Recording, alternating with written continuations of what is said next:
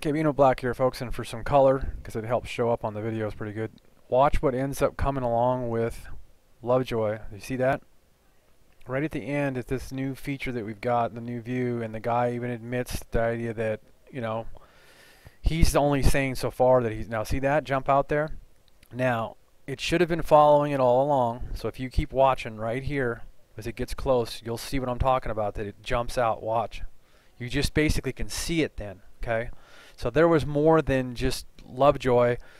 Triangulation, like I had been saying before, there all this stuff has triangulation, and basically the shots originally from the guy that found it in Australia. Okay, so the third part might be the very end of the tail, because as we know, as it went around the sun, if it didn't hit at all, and that's what I'm still I'm still kind of out on a jury of the idea that prove me a front, uh, actually a backside shot because we know now that the idea, okay, I mean, at least I understand now that the idea that it came around and we're going to look at some recent shot. Now watch, it'll pop up here. It's going to pop up in here somewhere. There it is.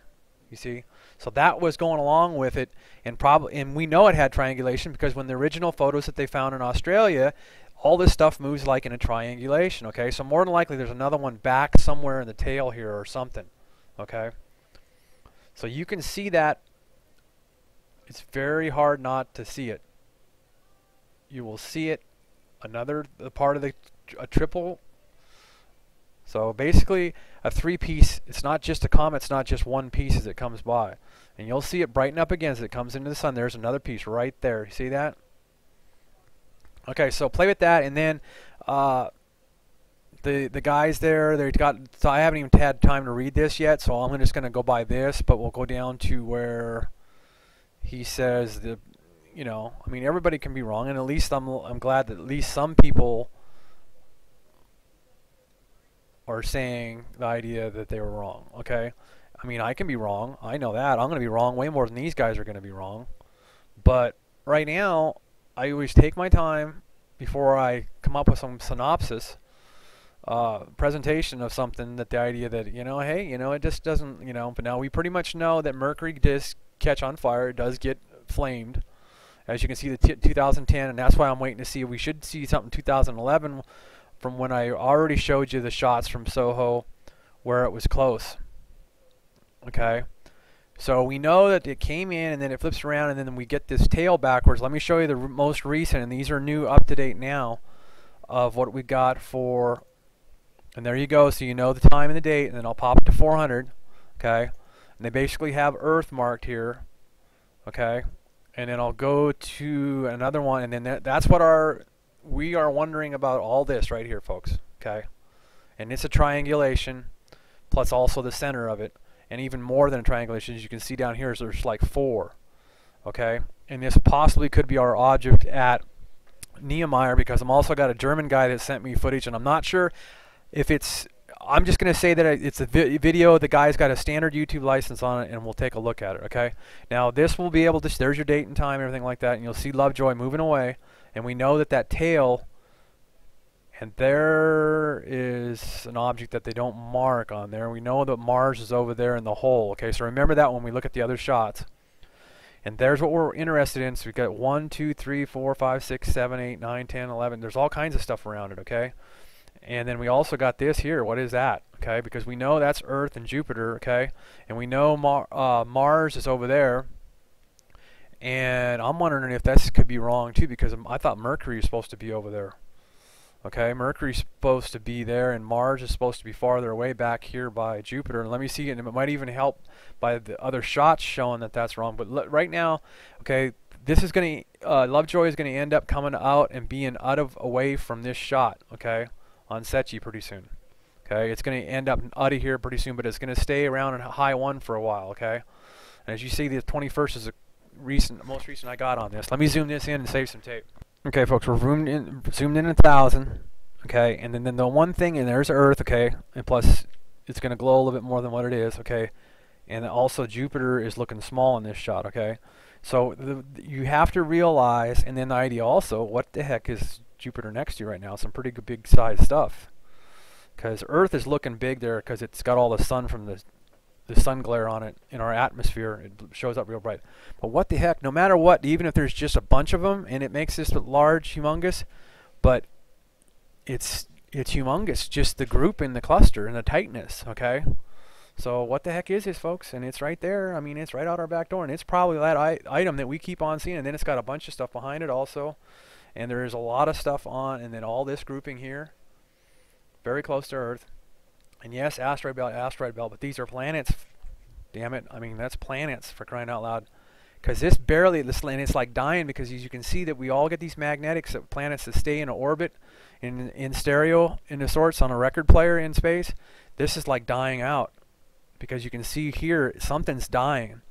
Okay, it used to be magnetical, but that it's and so it's going through space. So where the hell is it going? And there was some also some interesting stuff in this shot in a different area. Uh, let me see if I can zoom down to 400 here real fast. And then we'll pop back up. And there was stuff down. Okay, yeah, even here below. Look at that circle below Jupiter. Okay, so very, very close to bangs, okay? Not just a big bang, bangs. We're very close to bangs. Big bang, bangs before big bang, and then this cluster here, check that out up there. Okay, asteroid belt, yes. Humongous, yes. Okay, objects huge, yes. Clusters, awesome. Okay, Cl awesome clusters. Okay.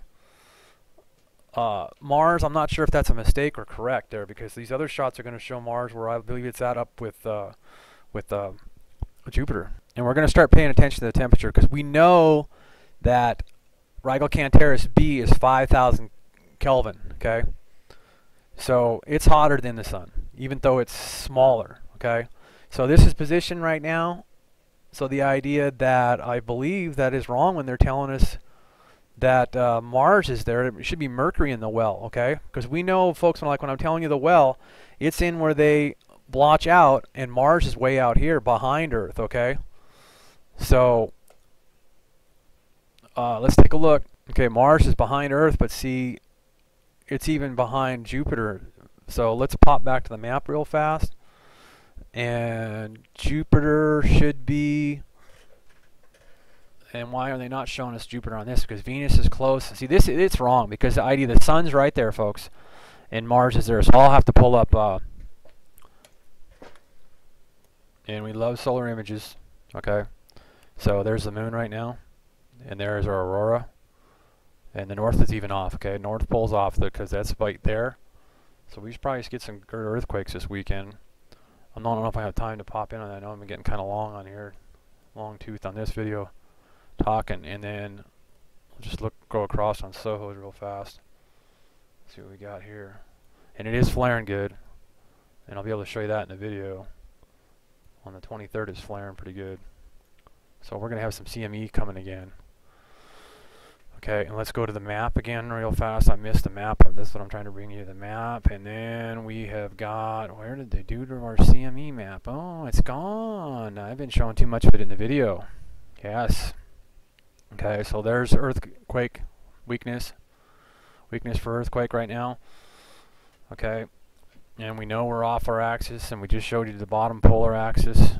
So uh, let's see what we got for anything here. So basically we're going to go away from here. And this is what I'm saying. We need to start watching this big time, folks, because I think we're losing solar temperature big time, which would be normal. It is the fall, winter solstice, but remember, we're as close to the sun as all-time recorded history, okay? So let me get a map of showing you where the heck uh, Venus is at, but I mean Jupiter. But so anyway, just find Jupiter. Jupiter should be out behind Earth. We're going to look at the other. So we can pretty much trust this shot, and that's Lovejoy there. I'll zoom in on that because we can trust the Mars is smaller in a way, and in the B is where the more than likely we're getting this shot. High 1B is giving us this shot, and that's the one that's going to stay there the longest because we got Mercury there and Venus there. Okay, but that was wrong on saying that that close shot in the well was uh, Mars. Mercury's up there close in the well, okay? Yeah, that's that, this one here is wrong, okay? That's wrong. And so here's our current map, and let me get back so, so as I cruise down to this fresh shot, you can see there's a planet, folks. You can see the magnetic, okay, to it, that that's there, solid. It'll go through stereo just about like any of our planets. So whatever these are is be interesting to find out, and mainly more than likely are supergiants, okay, because they are big planets, folks. They're not small. As you can see, that one's just as big as Mars, and it's farther away, so it may be even bigger than Mars, okay? And there you go, another one farther away just as big, should be bigger than Mars because it's so far away in the shot. Okay, and there's our Lovejoy. And really, it's not going to help me blowing up to a thousand or anything like that. So there you go. Just remember that that was wrong having Mars in the well, because i.e. this shot will show you that basically Mercury. I mean Mars is out there, okay, away from the sun. Mercury's over there somewhere, closer to the sun. And i.e. this shot too, folks. Mercury should be more than likely it's around one of these wide heads. It's either Mercury's either here or here, somewhere in the well close. As you can see on the map, that Mercury is in close to the sun, okay? So that shot basically, I'm pretty sure what they messed up is this is Mars here because i.e.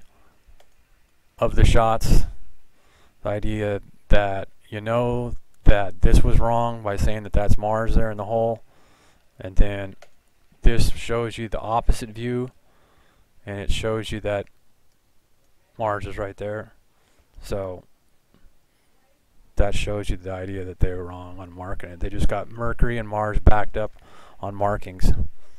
So let's blow this up so you can see Lovejoy's tail checking tail out. More space porn, folks. So that tail goes through space, and you're going to keep seeing it off of H1B behind better because the H1A is going to disappear, and the head goes forward, going through space because it's going in the opposite direction. When the head comes back, when this comes back to the Earth, I mean to the Sun again, because it's going up past us in Venus and going way out into space. When it loops back to the Sun again it will basically have that head coming in towards the sun again. Right now, this goes out directly the front end of it, out going into space. It's a vacuum, folks. Fire burns different in space in a vacuum, and basically, it burns way longer in space in a vacuum than fire ever burns. Actually, even fire, they even have proved NASA has. You can check NASA stuff out on studies on fire in a vacuum. They have proved that fire burns after it goes out in a vacuum in space. When there's nothing left burning, it still just burns. So some fantabulous work here, fantab fantastic work here from uh, set, uh, the sun grazers, okay, and they uh, getting human. They're they, you know admitting a little bit, and I think they're. I don't want them to slow down on giving us stuff though. So if they don't, if they want some theories and ideas, then throw it out here. Throw the videos out faster. So I'm going to show you this German video here pretty soon of, this was Lovejoy. And like I say, he kind of admits that they were wrong on the perihelion. So keep in mind, folks, my last few videos on one off the ship, pretty much we figured we caught this, okay? And we really want to know what the hell it is. Because it's right there with Earth. There's Jupiter, and there's Lovejoy leaving. And then nobody can say we're not in the Big Bang with all this stuff that's around. And that's Mercury. That's not Mars. We got wild groups like we've showed earlier in the video. And let's go ahead and go to that German video. And basically I translate this guy's video, folks. Basically, there here's his tags translated. Okay, this is what he says down here in his tags. Okay, that's what he says. So freeze it. Always watch my videos on full screen, folks. And there's his tags. Okay. So you have to translate what he's got on the screen, but basically he's been showing you, he'll show you what we've been showing you down. So I'll just scoot through these real fast. He's got some wild filtered shots here. That. That. That that you see he's, he's right at the stake out there, so I think it's one of the scientists that, down there that's giving me this like I was asking. So we really appreciate it. Because it's the stake to the right of the toe line. Some very interesting shots. All right, Santa, later.